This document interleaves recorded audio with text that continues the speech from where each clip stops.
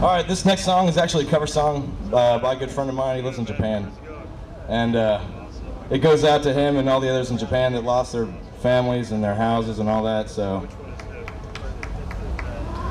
I'm thinking about you, buddy, way across the world.